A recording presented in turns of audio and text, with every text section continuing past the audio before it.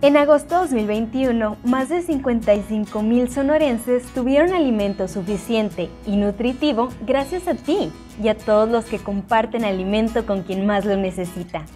Empresas como Cafenio, Cubits, Octava Workspace, Vieverte y sus colaboradores se sumaron como voluntarios y compartieron alimento para crear los paquetes alimentarios.